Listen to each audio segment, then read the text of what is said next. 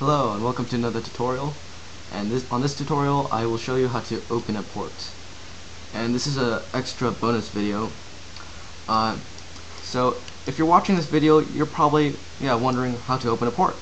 So and if you're not and just watching this because you subscribed well this, this is the advantage of opening a port. Opening a port allows you to like have servers run on that specific port so other people can uh, access your application or server on your network. So what you want to do is open the port uh, from your router. So the first thing you want to do is press start and go go and get your command prompt.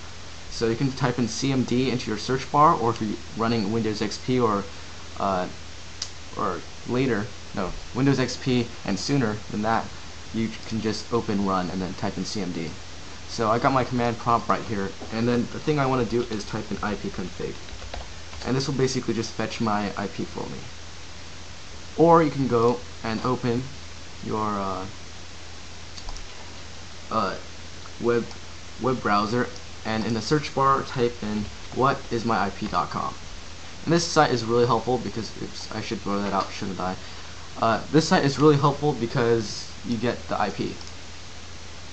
And basically you just want to copy that, paste it in your search bar, press enter, and it'll take you to your uh, to your router's website. So this is just stored on your server. This this is not Belkin's website. This is your router's website. So I'm using Belkin. It's going to be different for each company, but at least for Belkin, uh, you want to go to under firewalls. You want to go under virtual servers, and if you haven't, just type in a password, or if you haven't uh, set a password, just leave it blank.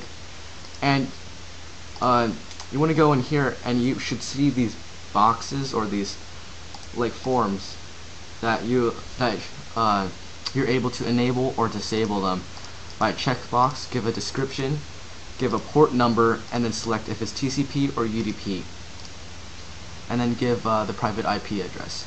So what you want to do is, if you're making a server like a Minecraft server, you want to press enable on two of them.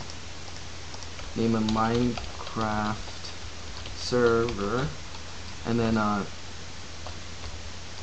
just gonna do the same thing for here, and then type in the port you want. So I'll type in that port.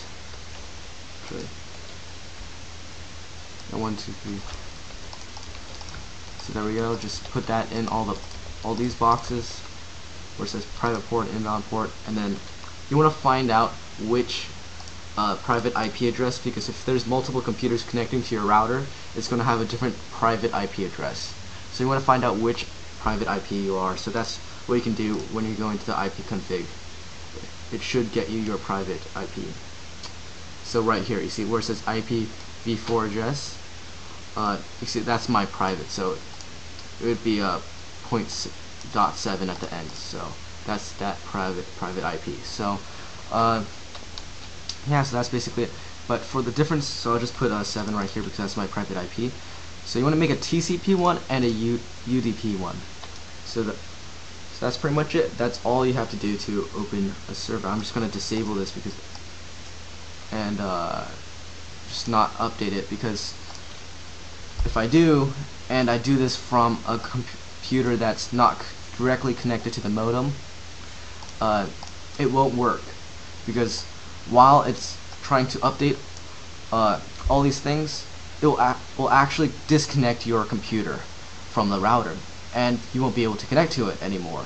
And then it will interrupt interrupt it while it's trying to update its changes. And that won't be good. Then you'll have to end up restarting your router and it's not fun trust me. So uh, the thing you want to do is go into the computer directly connected to, to your modem and change it. Don't connect to a computer that is not directly connected to the modem and connected to the router or else you'll have problems later. So thank you for watching this video and uh, appreciate a rating and see you in the next tutorial. Thank you. Bye